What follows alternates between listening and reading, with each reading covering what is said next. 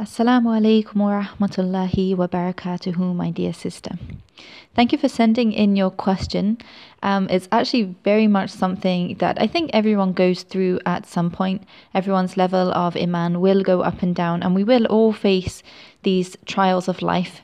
But Alhamdulillah, they're all for a good purpose, and there are a number of different reasons why we go through these trials and why our levels of Iman go up and down as they seem to be doing for you. So, there are a number of um, different reasons why um, people might go through these trials and why their levels of iman go, might go up and down. So there are a number of different things, uh, a number of different ways that we can address this. So like I said, we all go through these various trials to one degree or another. Some people go through greater trials than the other. But it's about how we interpret them that really determines how well we cope with them and how much distress that we experience as a result of these trials that we face. So it's about how we interpret them. So there's alhamdulillah there's much that we can learn from Islam that can help provide us with these tools and the best coping strategies to guide us through trials when we face them. So the first thing that we need to note is that Allah tests those that he loves. So if we go back and look at the prophets before us, all of them faced trials um, to a great degree, to be honest, a lot more than what we would go through here in this life. And you know, people are going through great trials today, but the prophets went through trials greater than what we face today. So this is a clear sign that Allah will test those that he loves the most because he loved the prophets more than he loved anyone and yet he put them through the greatest trials. So that can reassure you that it's a sign of Allah's love going through such trials. But we can also, um, you know, we're calling it love. Um, the love of Allah.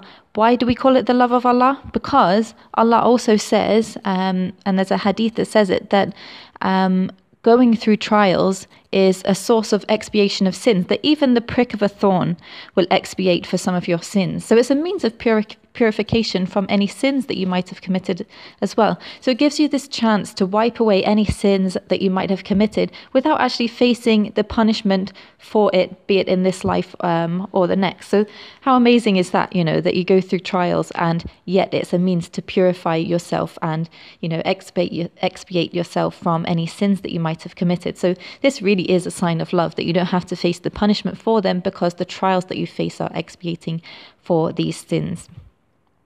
And also, we see numerous examples. You know, I've, I've, just drawn upon a couple of examples there, but there are so many different examples in the Quran and in the Hadith to really justify why we face uh, trials in our lives. So, um, just one particular example that I just want to draw upon because it kind of summarizes everything is that in Surah Al Ankabut, ayat number two, do, th- do people think that on their mere claiming we have attained to faith, that they will be left to themselves and will be not put to a test. So that's, you know, just saying that do do we think that we'll go through life without being given a test? No, because we have to be given tests because it's a chance to prove our faith to Allah. We'll go through tests because that will give us the chance to prove our, prove our love for Allah, to pr- prove our faith in Allah. But if we weren't given these tests, then how can we prove ourselves? How can we prove that we're believers if we're not given these tests and we're not given this opportunity to stay patient in times of trial? So, uh, in a nutshell, really, uh, from the Islamic side of things, the cure to feeling the way that you are is to remember Allah. As it says in the Quran in Surah 13, ayat number 28. Truly, it is in the remembrance of Allah that hearts find peace. So right now, it feels like you're not feeling um, at peace. You're, you, you know, you're having these doubts, uh, and this is making you feel quite distressed. So the way to find peace in this is to remember Allah. So stay close to Allah. Pray to Allah, fast, make zikr, and continue with it. You have to be patient with it. You can't just expect that maybe you do it a day or two, you do it for a week, and everything will be better. No, it does take time and it does require patience. But Alhamdulillah, at the end of that, there will be reward with that as well. And also, this uh, remembering Allah as well should protect you from these thoughts of doubt as well, because as you get closer to Allah, you get further from shaitan. You're protecting yourself from doubts because you're so close to Allah that you truly believe that the reason why you're going through these trials, the reason why you're um, fluctuating in your iman, um, is to you can overcome it by being being closer to Allah.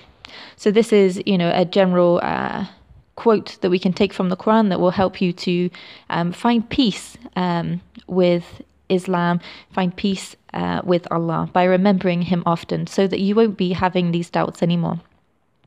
But on the other hand, as well, you can also tackle it from another side, engage in meaningful activities as well, um, rather than being kind of caught up in this negativity, having these doubts, being so focused on these doubts. Do other things as well. Engage in meaningful activities, make sure to exercise, spend time with friends, do the things that you enjoy, do things that will help to boost your mood as well, because otherwise you end up stuck in this circle going round and round having these doubts. Do other things as well that you find exciting, that make you happy as well. And also, especially given that you're having these feelings of doubt, you might also consider signing up to online classes in Islam as well, learning more about your deen, whether they be locally or online. There are plenty of online resources as well, um, online courses that you can take part in online as well, um, especially um, within a group, either online or you know locally ideal ideally, um, because then you can ask questions of other people as well. You can seek this clarification especially since it seems that you are coming across things that seem to be opposing to Islam. And yes, you do read these things that do seem to oppose Islam, and sometimes they come from inauthentic sources. But obviously, uh, you'd need to be with people in order to confirm that. But sometimes they are from authentic sources, and it might seem that they're opposing Islam.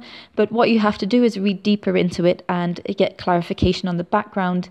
Um, behind what you are reading, and actually you find out that these uh, issues actually have more rational explanations. But you won't get this except if you study more and ask questions of people who um, are studying Islam as well, who are more knowledgeable. So, this is why it would be very useful uh, in your situation to um, study Islam more uh, from authentic sources, and especially in a group where you can ask questions as well um, to clarify. And in addition to that, it will help you to make friends with other sisters as well and build these bonds that will also help to strengthen your love of Islam as well and kind of throw those doubts away. So, overall, if you can take these things into account from the Islamic perspective, as well as doing other things that you enjoy as well, then inshallah, you should be able to uh, see a way forward. May Allah guide you forward with this and guide you on the straight path and strengthen you during these testing times.